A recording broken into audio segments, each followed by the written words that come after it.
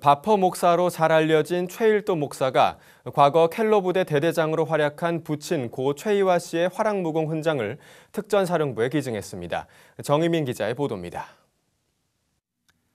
바퍼 목사로 알려진 다일 공동체 대표 최일도 목사의 부친인 고 최희화 씨는 6.25 전쟁 당시 켈로 부대의 대대장으로 활약했던 군인이었습니다.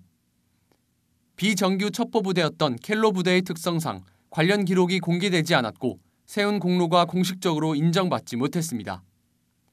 하지만 최근 참전 기록이 공개되면서 고 최희화 씨의 공로가 공식화돼 유족들에게 무공 훈장이 전달됐습니다. 최일도 목사는 특전사의 날을 맞아 6.25 전쟁이 발발한 지 64년 만에 수여된 아버지의 화랑 무공 훈장을 특수전사령부에 기증했습니다.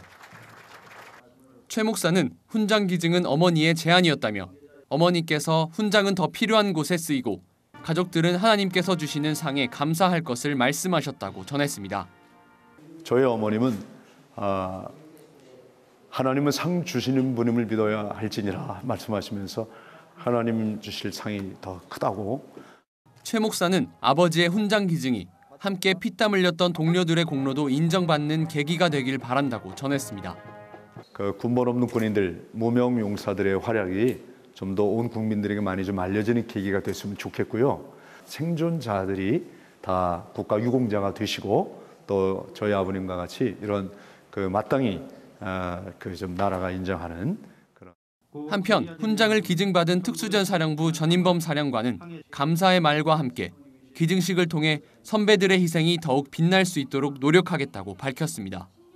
어, 제가 여기 부대장으로서 너무나 감사드립니다. 어, 어떠한 부대라도 최희화 선배님을 선배라고 모실 수 있다는 그것은 커다란 영광이 아닐 수가 없습니다.